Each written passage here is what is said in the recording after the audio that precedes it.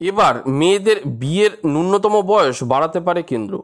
পরিবর্তিত পরিস্থিতিতে বিবাহের জন্য আইন মাফিক আঠেরো বছরের নির্ধারিত ন্যূনতম বয়স নিয়ে বহুদিন ধরেই পুনর্বিবেচনা দাবি উঠেছে।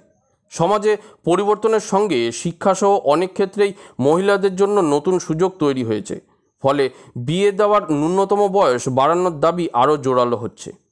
সাতের দশক পর্যন্ত দেশে বাল্যবিবাহ রমরমিয়ে চলত।